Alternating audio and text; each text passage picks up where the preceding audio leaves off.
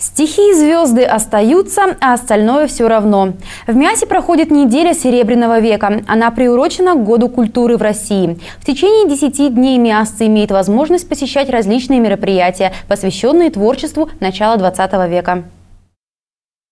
Цикл мероприятий, которые будут проходить с 21 по 30 апреля, включает поэтические вечера, флешмоб, театрализованные постановки. Уже завтра, 22 апреля, в 19.00 в клубе «Кафе 7 вечеров» пройдет музыкальный тематический вечер «Серебряные струны».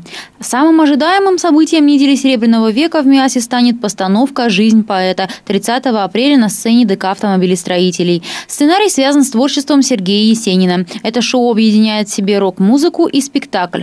Подробнее обо всех мероприятиях читайте в группе «Неделя Серебряного века» в МИАСе ВКонтакте.